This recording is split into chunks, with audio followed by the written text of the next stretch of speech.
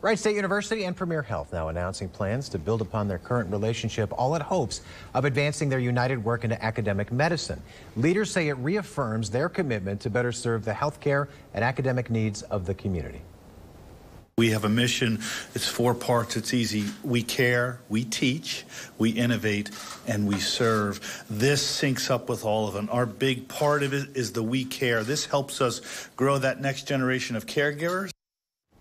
Now, the two organizations said they will be also creating a new role that will serve them both as the Dean of the School of Medicine and the Chief Academic Officer for Premier Health. The original affiliation agreement was established in 2021 and positioned the institutions as preferred partners.